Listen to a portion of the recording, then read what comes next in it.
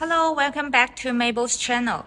Today our topic is Is there really a brand new A-grade EVE MB31 on the market for less than $50?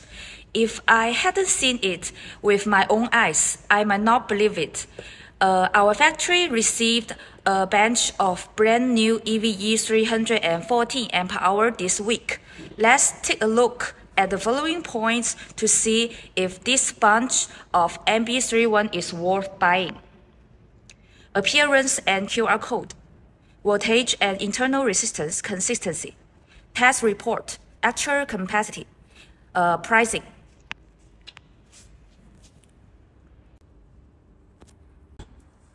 First of all, we can see that the appearance is very beautiful.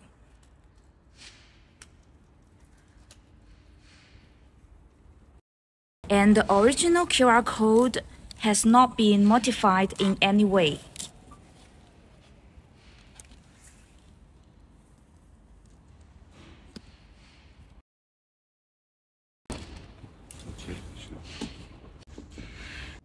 Next, let's take a test for voltage and internal resistance.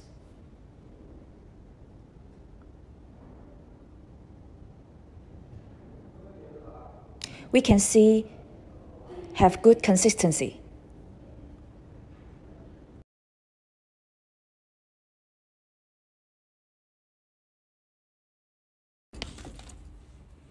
And this is the original test report. If you have watched my last video, do you still remember the two most important standards for testing A products? Uh, original QR code and original report. We can see that there is an EVE step on the tax report. And the actual capacity of the battery is higher than 330 amp hour.